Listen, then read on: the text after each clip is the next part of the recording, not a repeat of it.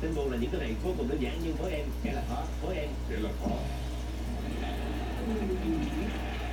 Mà lên ghét.